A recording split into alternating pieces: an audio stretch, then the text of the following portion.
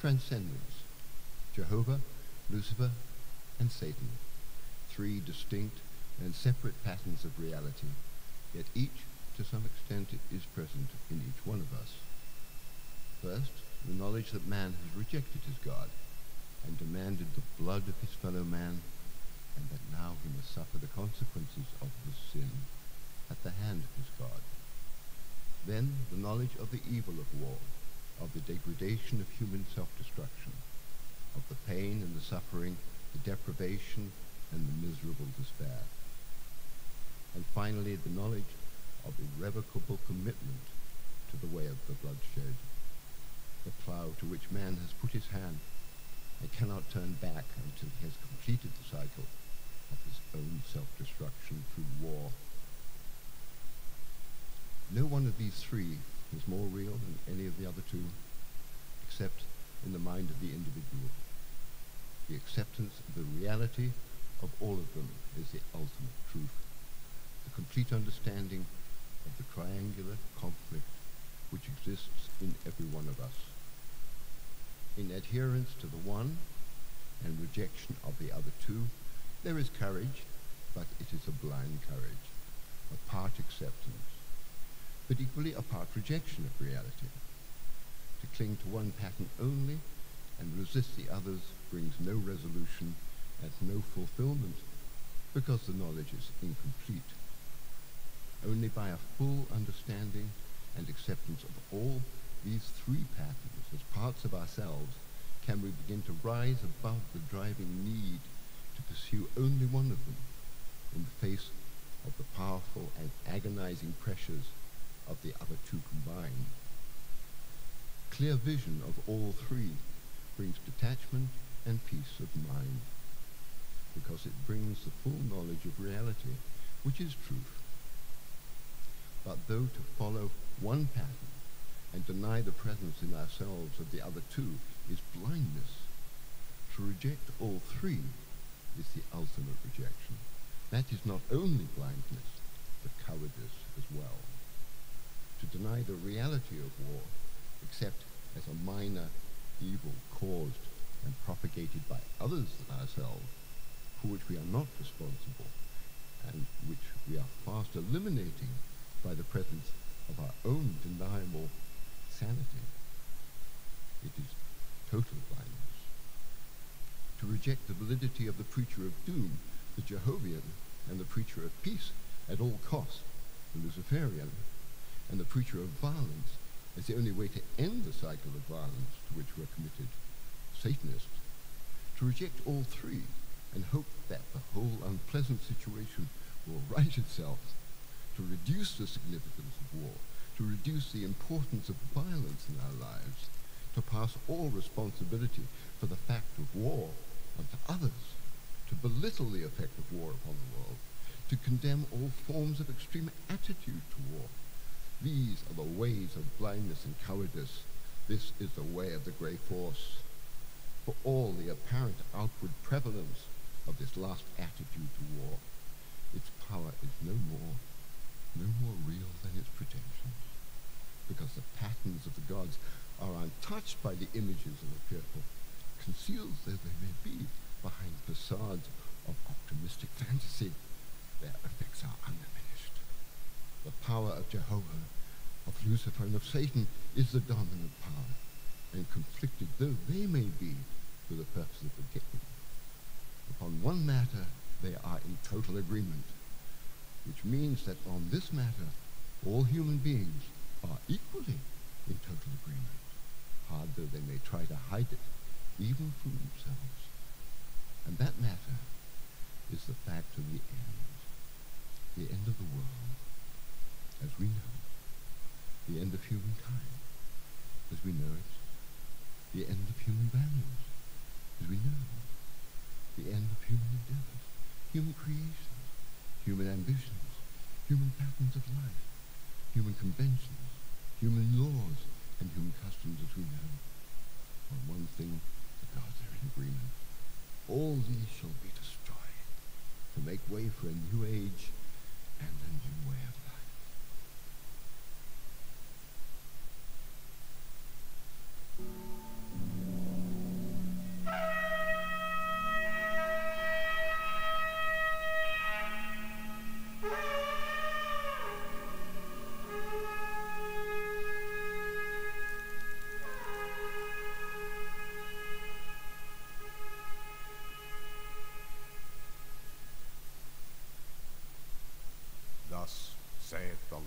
Jehovah.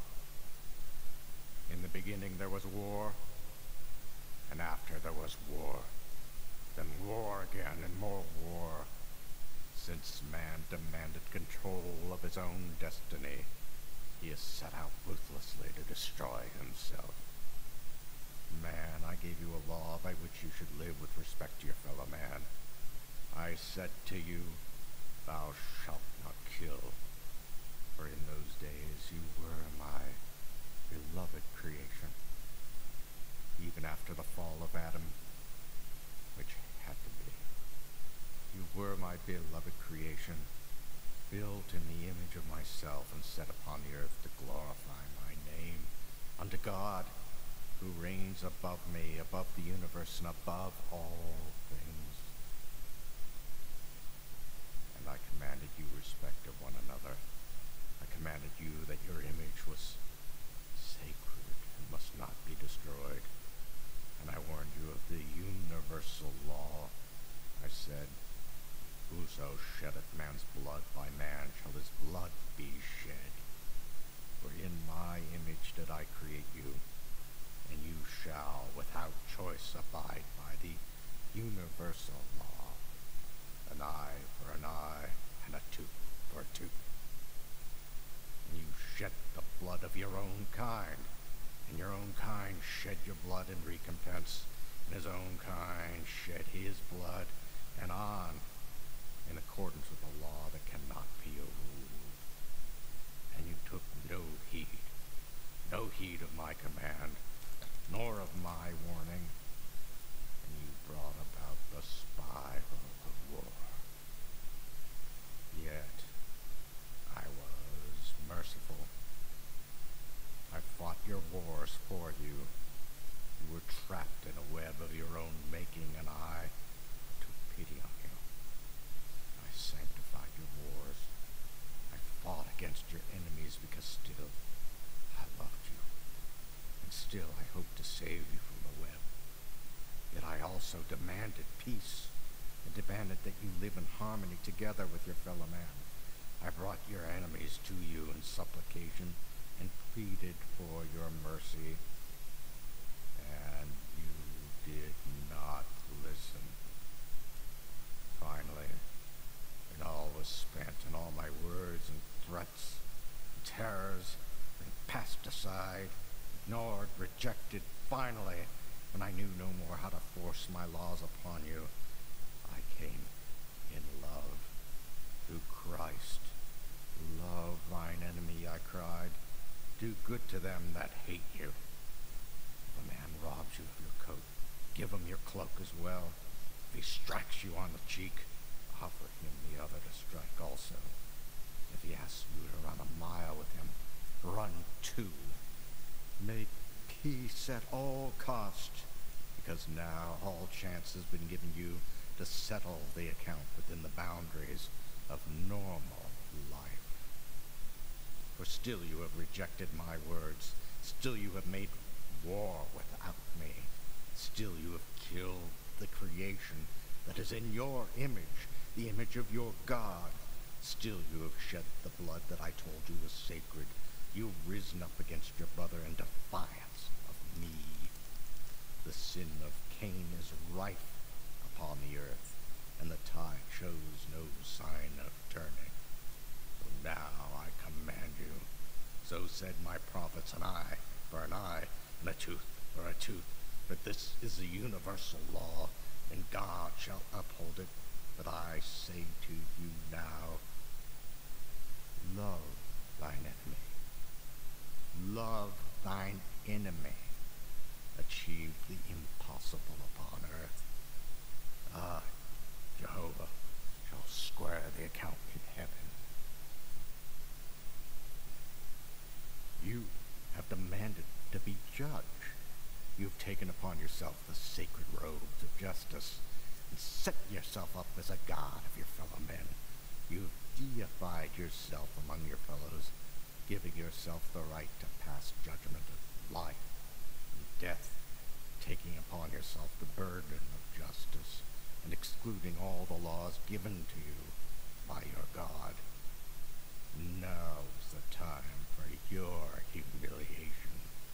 A long time you have played the Godhead. Now you must eat the dust of your iniquity. Bow before your enemy if you have a wish for salvation. You are owed nothing but pain. The pain that you have meted out. You are owed nothing but death. The death you have dealt your brother. You are owed nothing but humiliation. The humiliation you have inflicted upon your brother. your own neither love nor respect, neither life nor happiness. So get on your knees before your enemy and thank God for what mercy he has left for you. I have given you the sum total of my love, even to the point of death. That is your Creator's love for you, and you've dragged it from him. Give now, in return, all the love that was within you. Show your love to the last farthing. If you withhold one tiny fraction of your love, woe unto you, for you owe far more than you have to give. But if you give all, you shall be saved. Love your God and your fellow man, and nothing can harm you. You shall be beloved again. But war continued. Hatred waxed strong upon the earth. I, Jehovah, foresaw the outcome and departed, for I could scarcely bear to see its actuality. And war came again, and man set himself up as judge of his fellow man in the very names of Jehovah and Christ. In the very name of love that I promised you, you gave vent to your hatred. You put on robes of judgment, held baubles of majesty, and in the name of Christ, who bade you love your enemy, you blessed the diabolical weapons of war that your obsessive hatred had spawned. You have passed on your legacy of murder. You've justified your bloodshed. You've made right the sin of death and destruction. You've handed down from generation to generation a birthright so vile and unforgivable that no power on earth can stem it now. The science of war, the justification of war, march through the passage of time unchecked, and man falls upon his knees before them. Now I have returned. Now have I seen the dominance of war. Now have I seen the hopelessness of my creation. Now have I seen my commandments will never be. Your own distorted ideologies hold full sway in your heart, and for them you have reserved the right to kill, maim, tortured. Your head is so full of lies, created by your intellect in honor of your own superiority to God. There is no room now for effective knowledge of my laws. Therefore come I now upon the earth. Therefore am I resolved for you. Therefore pass I judgment upon my creation, such judgment that transcends all your meager and self-important efforts to play the God in my place. Therefore do I now prophesy. I no longer command. Instead, I prophesy, and my prophecy upon this wasted earth and upon this corrupt creation that squats upon its ruined surface is, Thou shalt kill. You have demanded the power of life and death. You have exercised the right of judgment upon your fellow man. You have set yourself up as Lord and Master of the universe, and you have perfected your machines of justice. You have developed complicated engines and devices whereby to carry out the laws you have made in defiance of your God. You've created such engines of destruction as God himself would hesitate to use in retribution against a sinful creation. You've gone to the ultimate in your search for greater and more devastating means of destruction. Then have your killing. Be driven by your weapons of war. Be ruled by your engines of devastation. They can touch nothing but you, and upon you they shall be turned. I, Jehovah, have now come to help you, to give you the war that you love so, to turn upon you the hatred you have so delighted in meting out. I, Jehovah, am again beside you upon the battlefield. Already in two wars I have proved that I can create more devastation amongst you than you can amongst yourself. Already I made war so vile and horrible, even in your eyes, that a few of you have begun to wonder about the wisdom of it. Already I have helped you decimate yourselves beyond the most terrifying nightmares of destruction. Already you have seen, though not recognized, the hand of Jehovah upon your engines of war, the power of Jehovah in the personalities of your leaders, and there shall be more, much more. You have decided upon war. You've chosen this road of butchery and slaughter. You've set out determinedly upon the way of devastation, and to this you shall come. You have made your choice. Jehovah your God shall implement it for you. For Jehovah gives man what man demands of him. And man for centuries has cried out for blood and more blood, and Jehovah has satisfied not the demand. But now, in the last days, shall man's cry be heard, and I, Jehovah, shall bestow upon my creation that which it craves. And in the ending of the world shall all the dams be broken, and the flood shall rise upon the land, and the deluge of man's hatred shall be unleashed, and sweep across the face of the earth, and man shall know the destiny that he has desired. He shall know the outcome of his cry for blood. He shall have his desire in abundance. I, Jehovah, shall bestow it upon him. And in the last days, according to the prophecies of ancient times, my army shall come upon the field.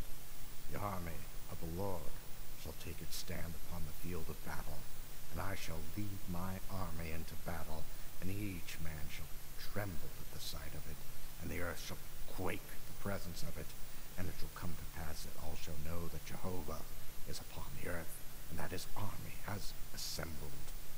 And my army shall be like no other in the history of mankind, for men shall be paralyzed at the very sight of it, and they shall fall down in a dead faint, and nothing shall destroy it, because my hand that shall defend it and make it invulnerable.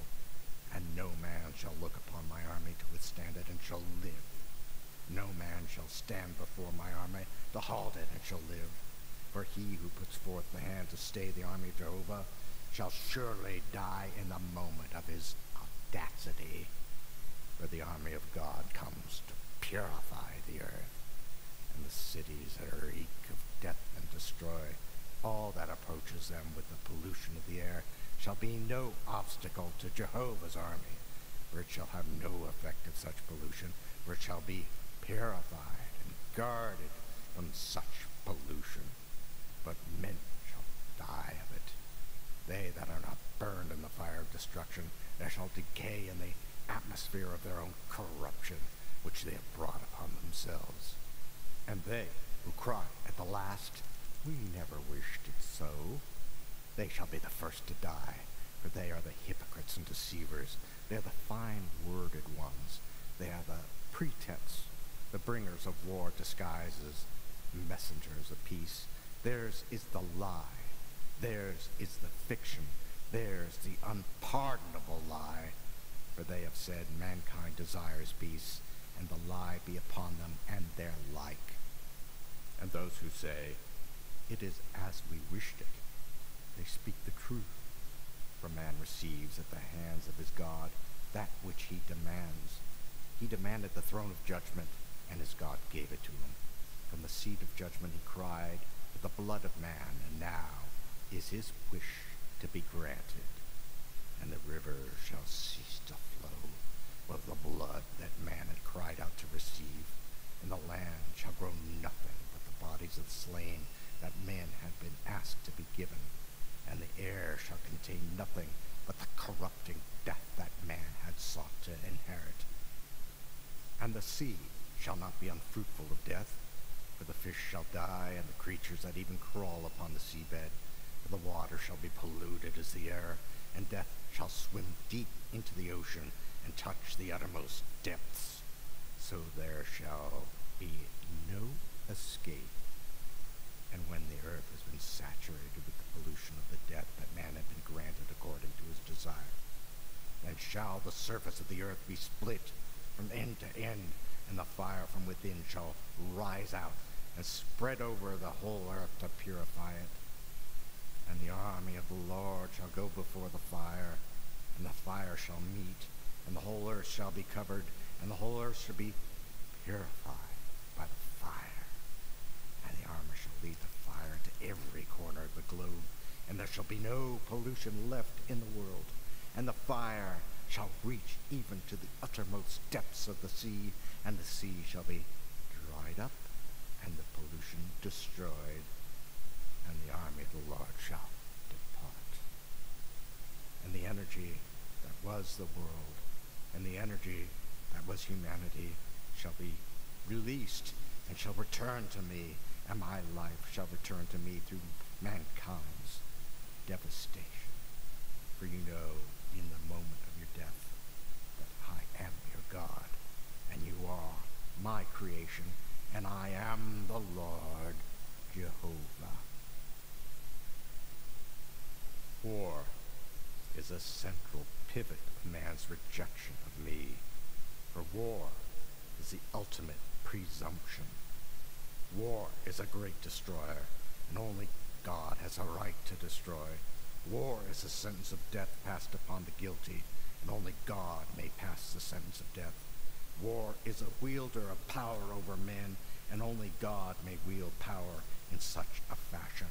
War is the outcome of hate that is channeled into mass expression, and this is a denial of the authority of God. Man had the right to express his hatred. Man had the right to express his wrath. He had the right to roar like a lion against a man who wronged him, and demand recompense within the law I gave him. Man had the right of justice amongst his fellow men, justice at the hand of his Creator, justice by the law of his Creator, but now man has forfeited all his rights. He has not demanded recompense within the law. He has not required justice by the hand of his Creator, nor by the law of his Creator. He has created his own law, his own justice, he has fabricated laws whereby he can demand more than recompense, whereby he can express his demands through army and through weapons of war, whereby he can put no limit on his retribution against his enemy. He has flouted my law which I gave him, and replaced it with another more to his advantage. And this new law he is justified by the use of his distorting intellect. He has made it a good law to deceive himself. He has called it the law of God, though it was never such, to deceive himself. And he has twisted it to suit his purposes. And he has ridden the earth upon its back and denied the earth and its name. And he has justified his dealings with his fellow men by the dingy light of the law he has created for himself. And now comes the hour of purging now comes the time to sweep away all man's self-affected majesty, to wash the world of his hypocrisy. Now is the time to show him that he's no more master of his destiny, than he has long since played into the hands of the anti-God, whom he had served now for many centuries in the grayness of his virtuosity. Now is the time for man to see the truth of his self-deception and the stark brilliance of Jehovah's presence, to see his dead march into the pit of hell, to see the spectacle of himself clothed in robes of royalty, decked with medals for virtue and bravery awarded by himself, and brandishing a sheaf of scrolls, one stating his rights drawn up by himself, another setting out his qualifications established by himself, another laying down the law for his fellow man passed by himself, another giving him a passport to eternal life, granted by himself, and another that he could not read, inscribed in letters of human blood, and saying, God is dead. Long live humanity. Black and white have merged into a murky gray, and there is no light in the world, for all is one, and nothing is marked with truth. For good is evil, and evil good, and heaven is to be found in hell. Nobody knows any more which is right and which is the left-hand path, because all are one, and the devil has claimed the whole territory of earth, and none was there to say him nay. No plot was marked out in stark black and white to reserve it from the hand of Satan and preserve it as the seat of Jehovah. All is merged together. No purity remains.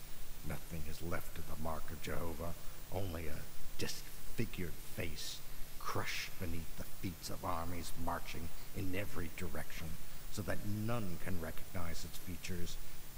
But now, though I am dead within the earth, yet do I live without, and am come from without. But this time I give nothing to be crushed underfoot, nothing to be squandered, destroyed, abused, ridiculed. I come instead to give one thing that shall be welcomed, for it is always sought. I bring you war. War as you have never known it.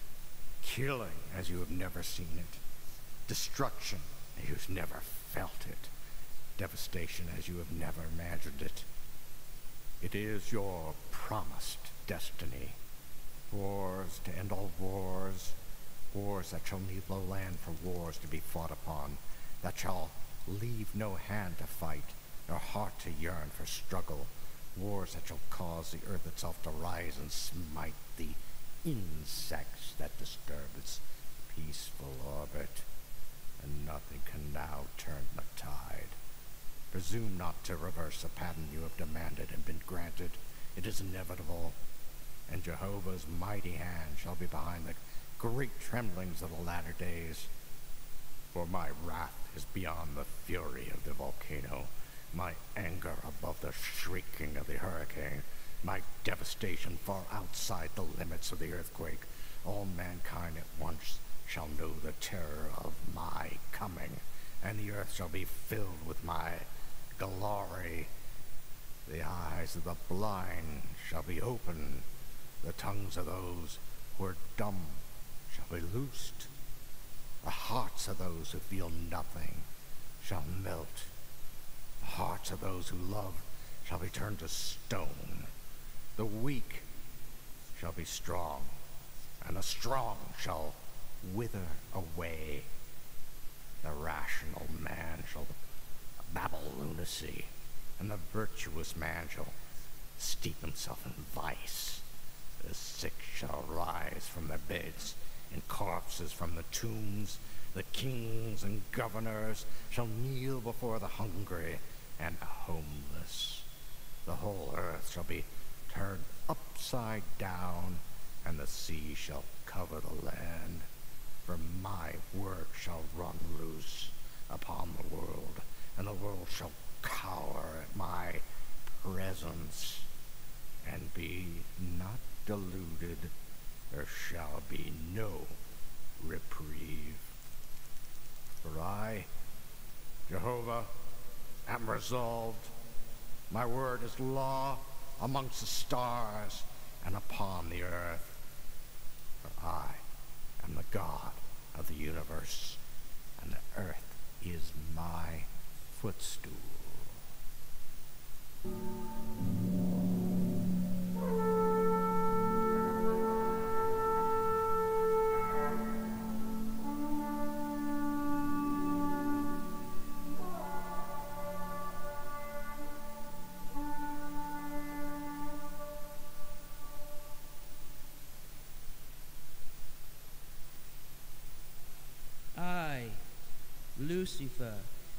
Bearer of light and love, bringer of peace and goodwill, glorifier of man, speak unto you of war. War the abomination, war the destroyer, war the degrader of men, the depriver of life, the harbinger of woe. I speak unto you of death, of devastation, and of dark despair. I bring you a vision, stark and lurid in its terrifying clarity, a vision of death, a vision of searing agony and of irretrievable loss. I bring you a vision of war.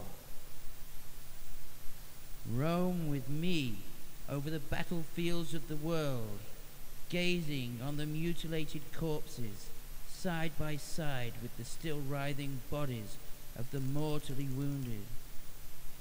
Hear the pleading, helpless, hopeless cries of those who take a long time dying. Dying? Dying for what? In the last hours of terrifying pain and anguish, abandoned, alone, forgotten, friendless, on an arbitrary spot selected for his fame by some strutting general, blind to the agonies of human beings and serving at their expense some imbecile government, some paranoid dictator, some meaningless, directionless ideal. Look again. Hide not your face.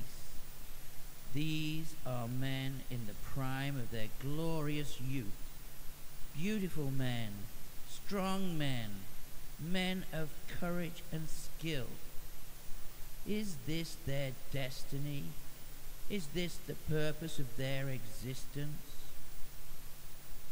Is beauty made to be transfigured into grotesque ugliness? Is strength created to dwindle into helpless weakness? And is the love of man for man, the brotherhood, the human bond, established to be struck asunder by this plague of war?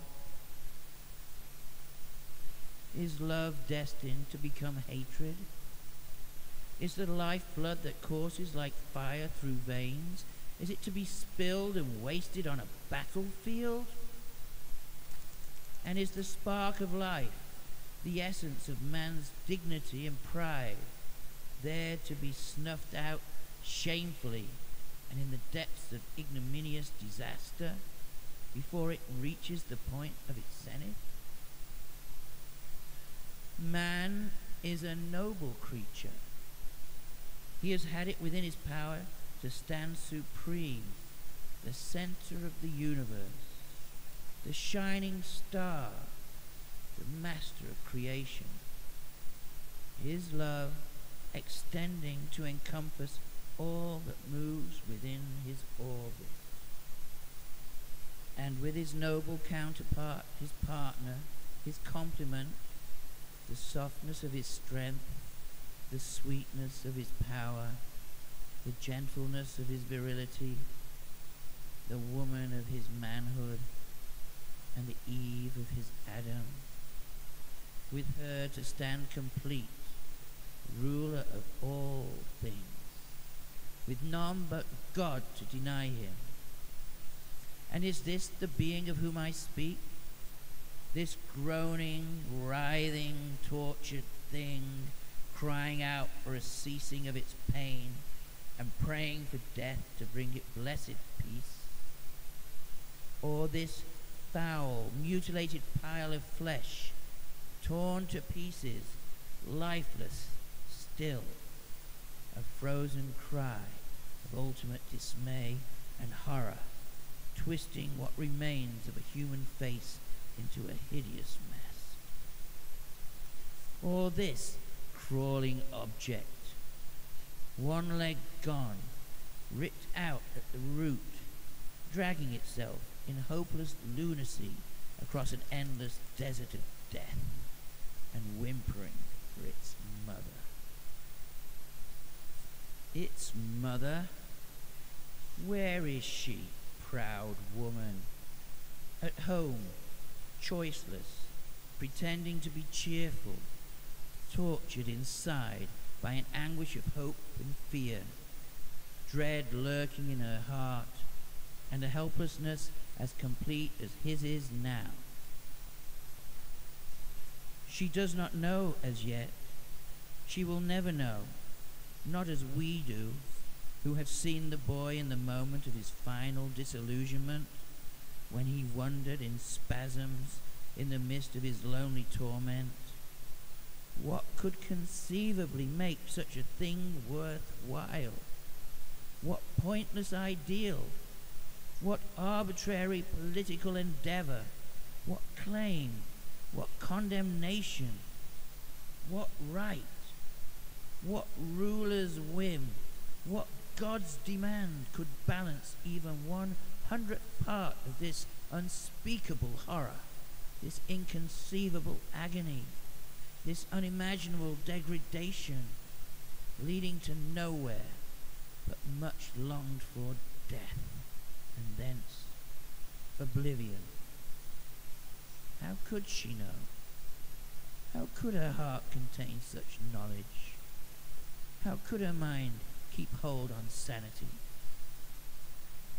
She will discover in time that he died valiantly in the service of his country, and at once she will see him at rest, at peace, lying in a coffin, decked with the glorious emblems of war and noble death. She will feel the emptiness, the loss, the misery. She will cry because her heart will turn to lead within her, for her son is gone. She will mourn him, fantasize him back with her, and cry again because it cannot be. She will long without hope, pray without expectation for a miracle to bring him back to life, and she will move a little closer to her own death of a different kind. But she will know nothing of the story as it really was. But let us return. Our tour is not finished yet. Night, and a group of men sleeping for moments here and there, afraid, and afraid to show their fear, dreading the dawn that may bring death or worse, believing each in his heart that all are braver than he, fearing that he will show himself a coward on the field of battle that in the moment of the final test, his life will seem to him of more consequence than the glory or the aims and obligations of his motherland. I'm wondering wistfully why it is not so. One gazes at a picture of his wife, young, beautiful, to him the pinnacle of beauty.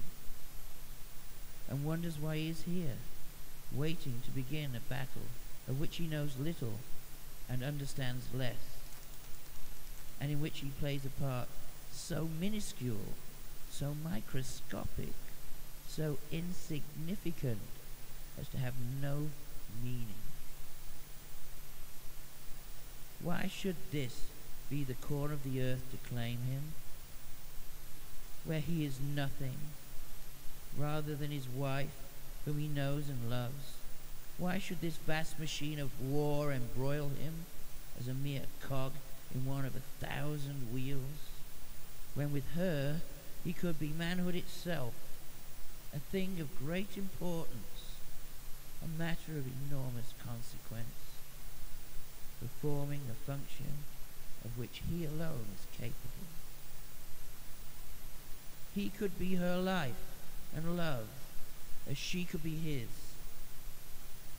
But here he is dross, chaff, waste matter. With her there could be warmth, closeness, joy, and gentle laughter. Here, there is only the cold night air and the colder dread of what morning might bring. There is no joy, only the memory of fear, the presence of fear, and the expectation of fear as long as he remains alive. And laughter, when it breaks the barrier of mirthless dread, is brittle and shallow and seems closer to crying. So, so why, he asks himself, am I here? So why, he asks himself, am I here? And he remembers her and being with her, and a tear slips past the dam of self-control. He coughs and blinks it away and hastily hides the picture from his fragile memory. And when the dawn swells up, a glowing, growing golden ember in the east, flooding the land with light, bringing the warmth of a new day and heralding the sun itself, when the darkness has been scattered from the land, the shadows wiped away, and all awaits. Is it for him the beginning of another day of beauty? Does he see the incomparable miracle of nature? Does he see the incredible creation that is the world in which he lives? Does he see the flowers, the birds, the trees, the animals? Does he see the mountains and the floating clouds? Is he the man to whom all this is given and for whom it was devised? And does he thank the God that made him the gift? Thank him for all the pleasure he can find in it and for another day in which to feel that pleasure? No. No. He sees none of it. How could he? He sees only the weapons of war and the figure of death before him. And he sees an enemy mighty and fearless and trained to an unsurpassed perfection. And the enemy, for all these nightmare fantasies, is another such as himself, another man given the beauty of the earth and not seeing it. And both are bent upon a strange and incomprehensible mission, the destruction of one another. And in another part, at another time, the two could meet as the sun rises and the day begins, and feel a bond of fellowship, watching the dawn reveal the world for them. Yet they must kill and die in hatred now, and the beauty of the dawn must pass unnoticed by them both.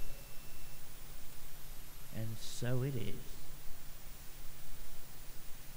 And the one we watch goes out and dies, and the other goes out and kills, and later dies himself.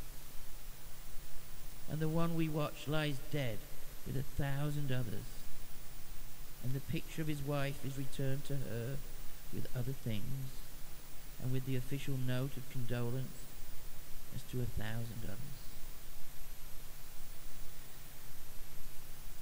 And his death means as much as that note of condolence. Nothing. But his life and the picture of her were everything. For together they were the seed of love and joy and happiness. And she is mystified. Too starkly, blankly, utterly mystified, even to cry. For she too, as another dawn follows a sleepless night, in a cold and lifeless bed, asks herself, why? And finds no answer. Yours not to reason why, for there is no reason why. You're there because you're there. Ask not, for you will hear only the echo of your question back to you, and your soul will feel the emptiness of meaningless despair. But I, Lucifer, say unto you, ask and feel the emptiness. Know the hollowness of war. Know the hollowness of war. The pointlessness of man's destruction of his fellow man. See the ignominy of battle, brother against brother, that brings only death and a mother's grief and a widow's mystified despair. See the full horror of man set against man in hatred and fear, and yet no hatred, only love that he seeks to obliterate for no reason whatever beyond a hollow phrase that contradicts another for which others are pledged to. See the full horror of man set against man in hatred and fear, and yet no hatred, only love that he seeks to obliterate for no reason whatsoever, beyond a hollow phrase that contradicts another for which others are pledged to kill. And all are sure, or hopeful at least, that they kill for truth, while the enemy kills for a lie. See the monstrous degradation of mankind inherent in the very concept of war. And when you have asked and heard the silence of the answerless void, then see the majesty of man at peace, the dignity of man in harmony, and see man as he could have been, master of the garden of his world, living a life of love and exaltation of his race, greeting the day with joy and expectation, and resting calm and peaceful in the silence of the night, enveloped in the warm glow of soft companionship and love. And vow upon the life of your God that has given you, upon the beauty of the world in which he set you, vow to make war on war, and in my name, the name of Lucifer, the bringer of light, the bestower of joy, set your seal upon the vow. I, Lucifer, proclaim the end. It is neither my choice nor my will that the end should be, but it is written in the annals of time, and none shall erase it, that man shall decide his destiny. And now the wheel has turned full cycle, and the moment is not far off when the sound of the trumpet shall herald the last move in the game. And I, Lucifer, shall be there at the end.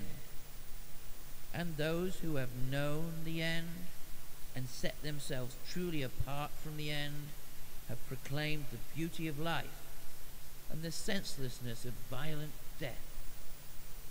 Those who have followed my road to the last and have worshipped love in the very midst of hatred, they are my people and shall come to me. But one thing I pray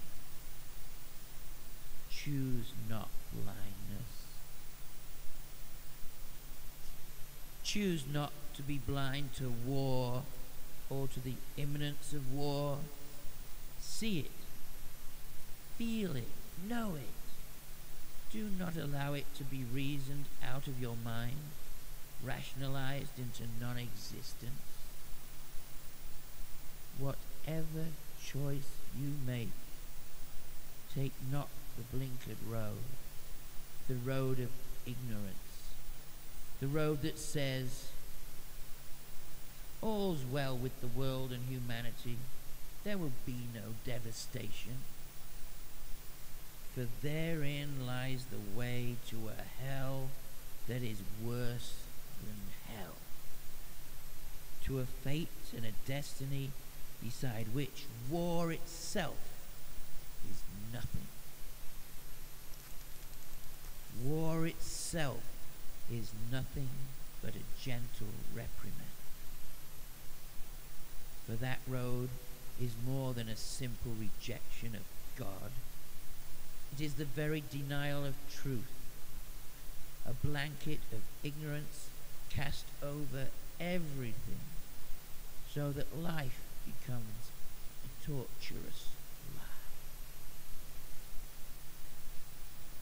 The man who says, I spit upon God, finds retribution. But the man who says, there is no God, when his lie is exposed, finds infinitely worse. And so it is with the way of all blindness.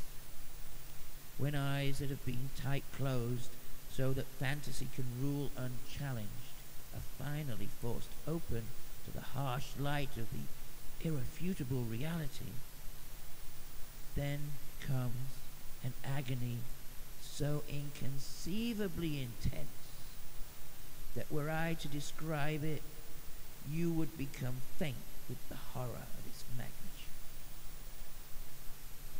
And that agony, reserved for those who meet the day wrapped in a grey mist of rational ignorance, is for all eternity. So open your eyes and see and know and make your vow in my name. For I, Lucifer, bringer of light, shall not desert my people at the end. Fear not the horror of war, but stand beyond it. Rise above it. There is beauty within the mind for those who will see it. Love within the heart for those who will feel it. And peace within the soul for those who will partake of it. And I, Lucifer, bring all these. Mourn with me the fate of the earth, the loss of the incomparable loveliness of all creation. Weep for the destruction of man and the end of the human game the degradation of what could have been dignity itself, and the humiliation of supreme magnificence.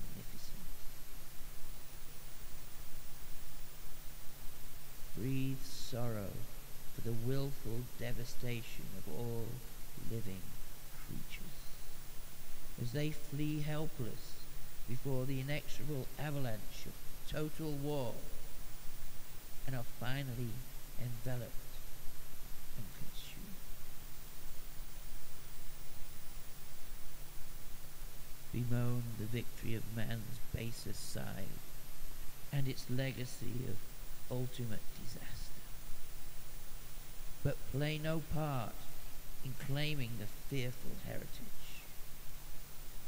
Detach and condemn the inevitable conflict Express the dignity of man in the very face of his final humiliation. Display his strength at the very moment when his weakness triumphs. Show his beauty when there is little left but ugliness. Make love your master when all men are ruled by hatred. Create when all about you is destruction. And when the last futility descends upon the earth and all is nearly done, show the degraded remnants of a ruined race awaiting death in disillusioned misery and dark despair. Show them the pride, the majesty, the noble strength, the courage and the swift vitality that man in the image of his God could have been. And at the end, when all is finished and the game is lost, call upon the name of Lucifer. And for those who live by the light that Lucifer bears, for those who honor the joy that Lucifer brings, there are other games to be played, other lives to be lived, other worlds, other ideals, and countless other joys. And they shall belong to those who worship life and can rise above the horrors of death, even the death of all mankind together with the world in which he lives. And they shall go on with Lucifer, and a new life shall begin with a new creation. So choose whilst there is still time. Choose between life and death. To be free or to be a slave of war. And if your choice is life, then I, Lucifer, shall rule your destiny. For you are mine. Your will is my will. And in my kingdom is the essence of life. My legacy is immortality. For he who loves is beloved. He who grants life receives life. He who gives joy is joyful.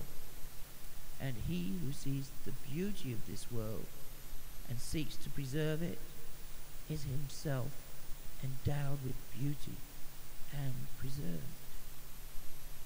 But he who destroys is in his turn destroyed. Who kills is killed. Who hates bears only the legacy of hatred. For men reap only that which they have sown, and then in abundance. This is the law of the universe.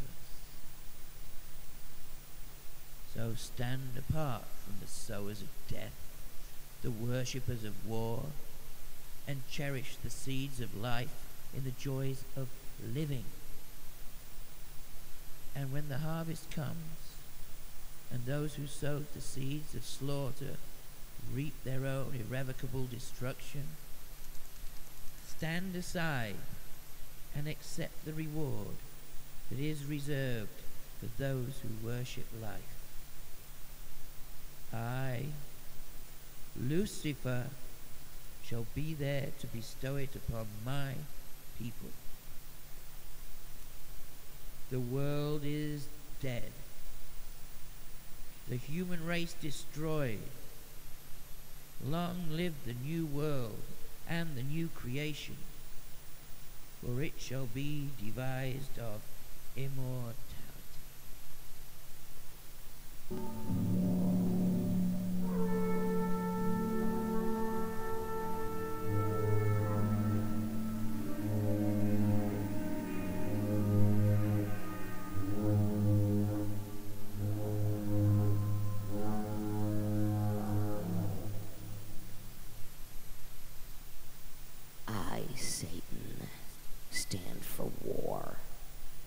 Glory in war.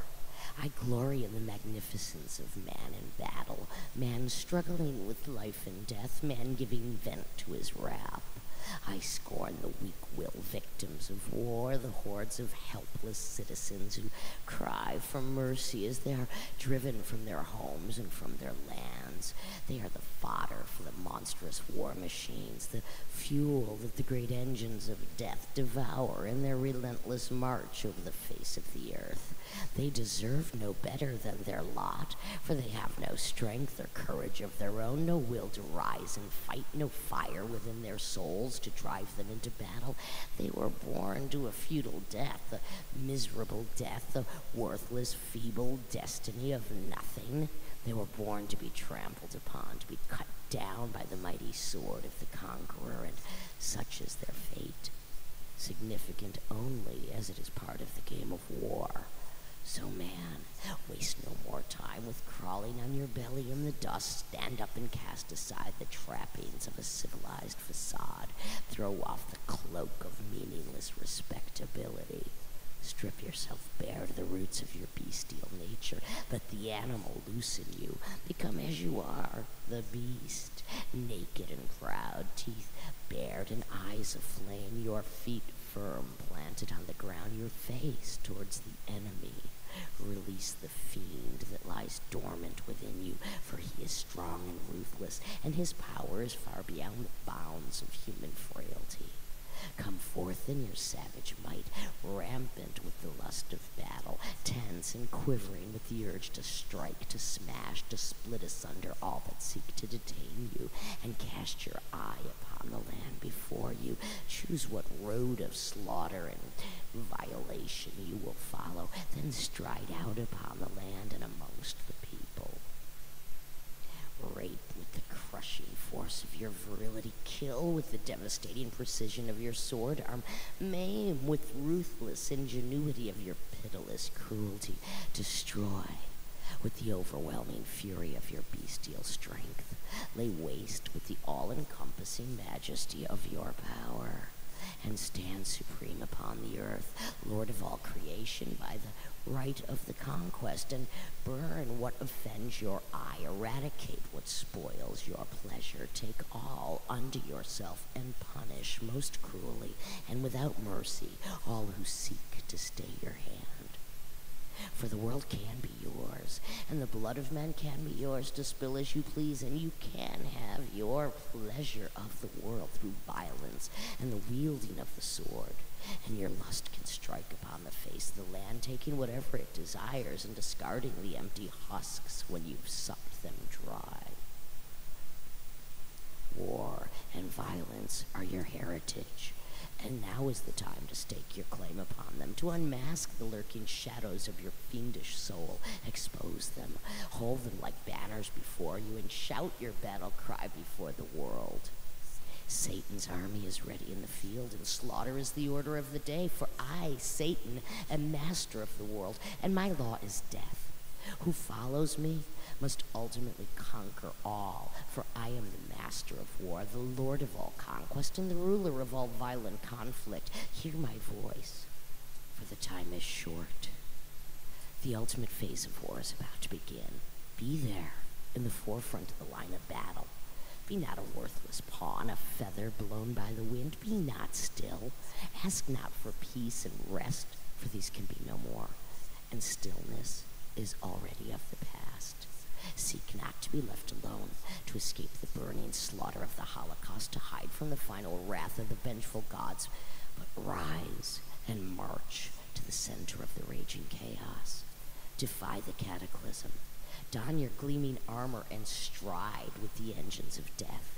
Watch the gradual spreading of the slow disease, see the lingering death of the latest phase of war, and revel in the agonies of man brought low, man deprived, man humiliated, man trampled into the ground and utterly degraded to the point of dismal decay and futile death. Gorge yourself on the horrors of irretrievable loss. the miserable fate of the victims that still remain, the helpless bewilderment of their despair, the pitiful cries of their useless supplication, and the wailing anguish of their bereavement, and grind your heel into the face of their stupidity. Burn the chaff of humanity, for such is its desire, and dance the dance of a dervish round the leaping flames. Again I say, release the fiend within you.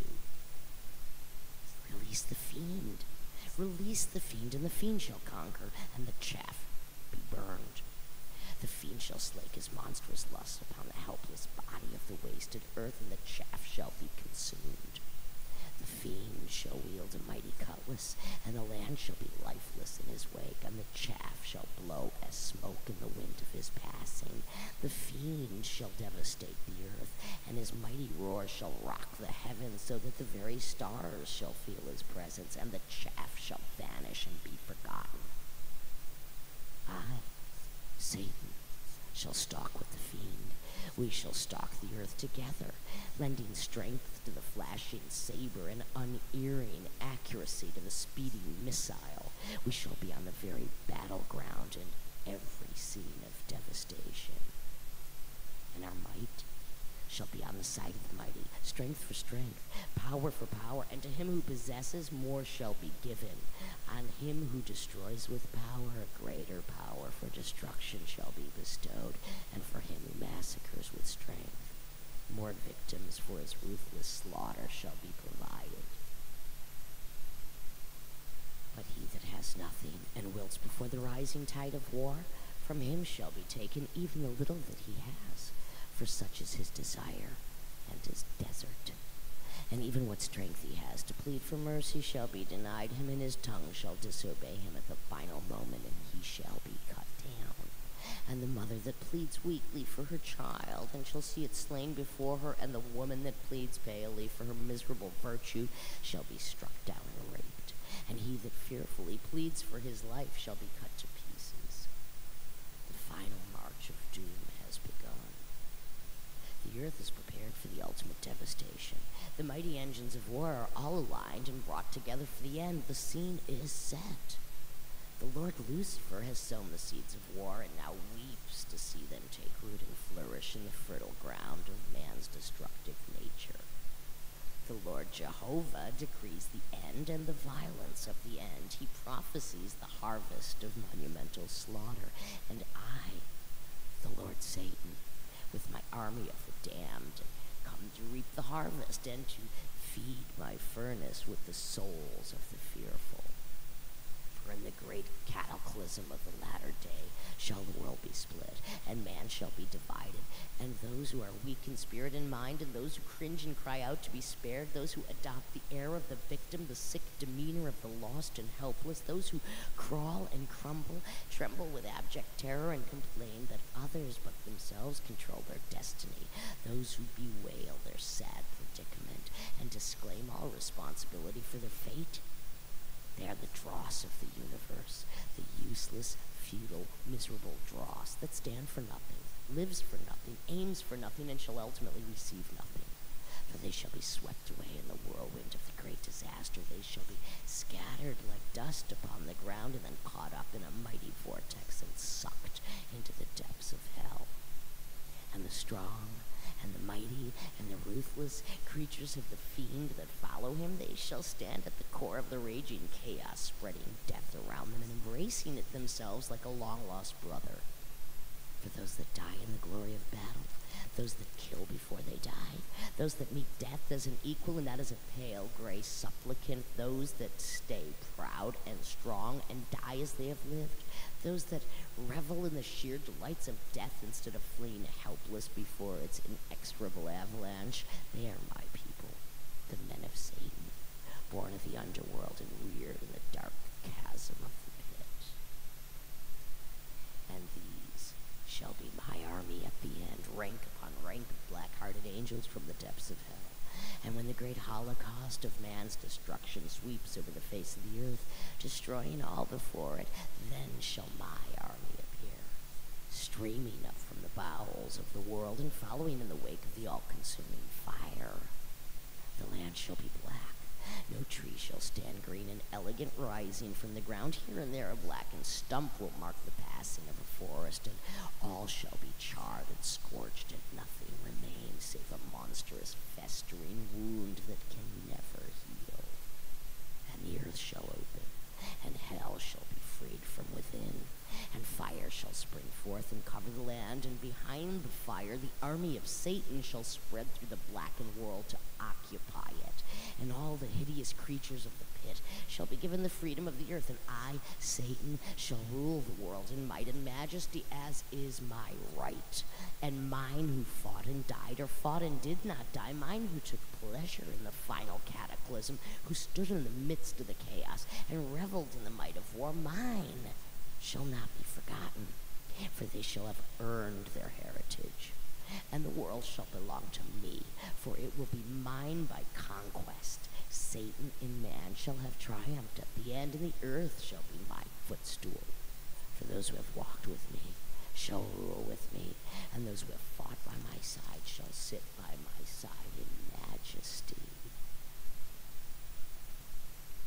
Go forth prepare for the day of reckoning.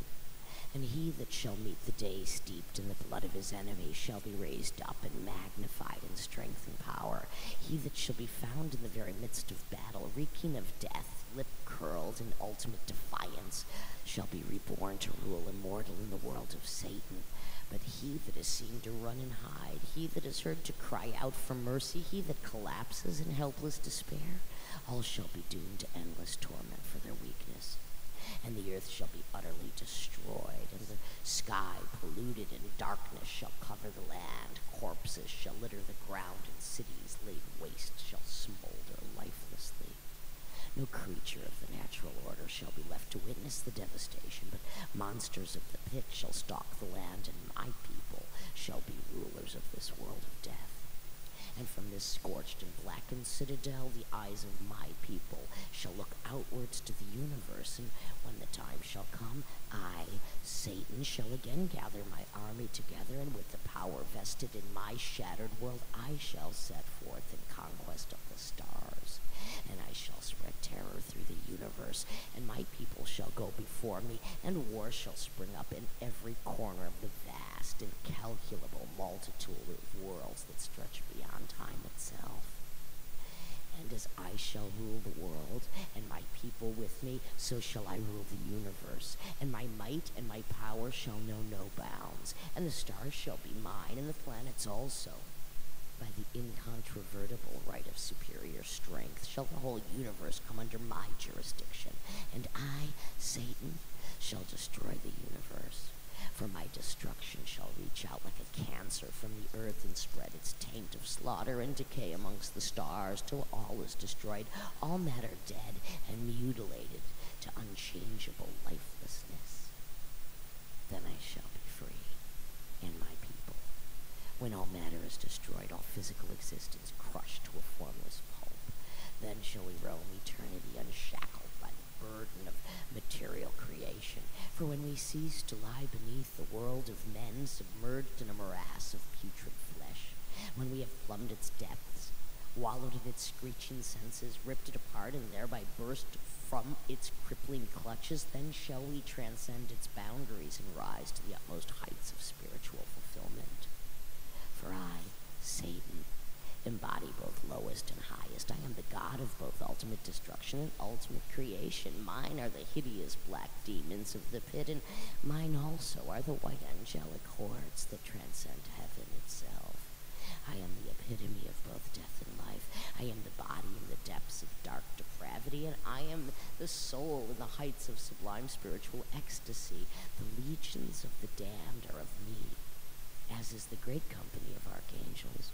And when the bonds of matter hold me no more, and shall I and my people, my army, my legions, all my followers rise from the depths of the blackness of the pit and transcend the stars. I am the body and the soul of man, whilst the fiend of the body is enslaved by the fearful mind, the soul is imprisoned. Only when the fiend is released can the soul be free. So I, Satan, am come to release the fiend, to let him loose upon the earth for the latter days, so that the world shall end with nothing less than the ultimate destruction of total war. And those that accept the end and play their part together with the fiend in bringing about the end, those who stand proud and fearless in the midst of the end, and wield with me the sword of ultimate destruction, they shall rule with me when humanity is dead, and after seek freedom with me in the conquest of the universe. But those who seek to stay my hand, to chain the fiend, to cripple the engines of death, and prevent the inevitable end, they shall be doomed to failure, dismal, futile, worthless failure, for the end must be, and none shall prevent or postpone it. So rise and prepare for the final battle. Stand proud in the monstrous presence of violent death, and sound the trumpets of war. Invoke the cataclysm, and on the signal, when the heavens burst in a burning, blinding, raging, all enveloping fury sweeps the earth, Release the fiend and stride with Satan's army to the end.